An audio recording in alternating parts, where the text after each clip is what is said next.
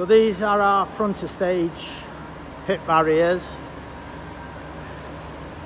Uh, that's front of stage, uh, front of house. Obviously the event is going to be starting shortly, so we're just we're just finishing off. So we've done these.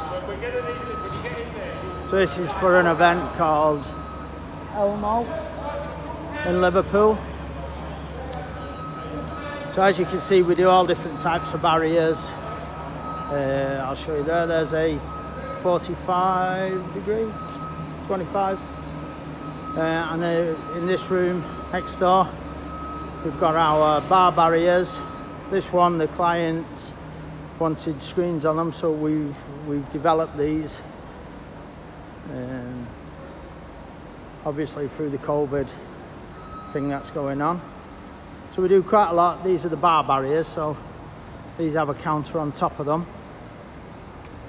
It's quite a lot of work to setting these up, doing it.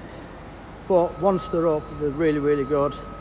They help the bars take more money because where other jobs they use, say, a 8B2 Litedeck, um, these are a lot stronger. People's drinks don't fall over, it just saves a load of hassle. And then we've got some more barriers outside. So if it's something you might be interested in, uh, we do quite a lot of work with the barriers. It's main part of our business.